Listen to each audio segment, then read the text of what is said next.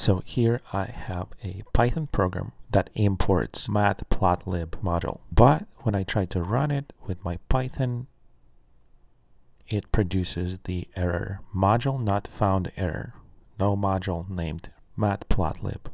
So I'm going to call pip install matplotlib to install the library.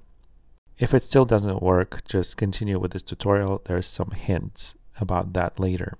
But now that it's installed, I'm going to run this program again, python hello.py, and on my machine it's going to work this time after the installation. Well, if installing the module actually worked for you, that's great.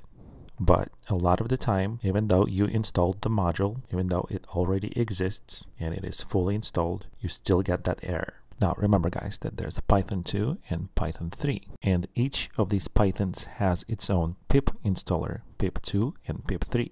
So when you call just the pip command, it will automatically choose either pip2 or pip3 depending on your configuration. Now in addition to that remember that Python command may also refer to either Python 2 or Python 3. You're probably using pip for Python 2, but you're trying to run your program as Python 3. So let's check the version of the Python command. Here in my case it's 2.7 and my Python 3 command produces version 3.6 and also my pip version is going to return Python 2.7 and my pip3 command version is going to return Python 3.6. So this is why in the beginning of this tutorial I did not experience the problem.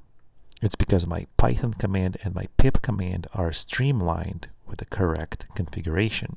So one thing you can do is create an alias for your pip command. So type alias pip equals pip3. And now when I check the version of my pip command, it has changed to Python 3.6. Now there's another thing you can do that might help you. So go ahead and type pip list pip list will list all of the modules installed with that pip command. So for example, if I use pip2 list, it's going to list only the modules installed for my Python 2 with pip2. And again, if I type pip3 list, it's going to list all of these modules installed with pip3.